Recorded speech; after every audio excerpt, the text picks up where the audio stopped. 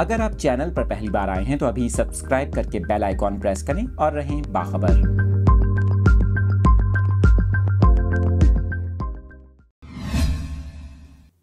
इस अहम खबर की तफसीत आपके साथ शेयर कर रहे हैं। तलबा के हवाले से बड़ी खबर सामने आ गई। महकमा तालीम सिंध की जानब से सूबे भर में तालीमी इदारों में आम तातीलत के हवाले से अहम फैसला कर लिया गया।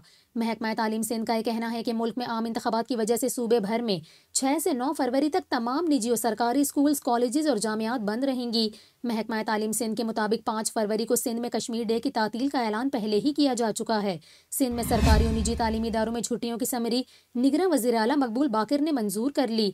आपको बताएँ, सूबा सिंध के महकमा तालीम ने जारी करदा बयान में कहा कि पाँच फरवरी को सूबे भर में कश्मीर डे की तातील का ऐलान किया जा चुका है। पाँच से नौ फरवरी तक तमाम निजी और सरकारी स्कूल्स, कॉलेजेस और जामियात बंद रहेंगी। आपको बताएँ, इससे कबल गुजशत रोज़ पंजाब काबीना की जानब से भी आम इंतबात के सिलसिले में तमाम स्कूल्स, कॉलेजेस और यूनिवर्सिटीज़ छः से नौ फरवरी तक बंद रखने का फैसला किया था।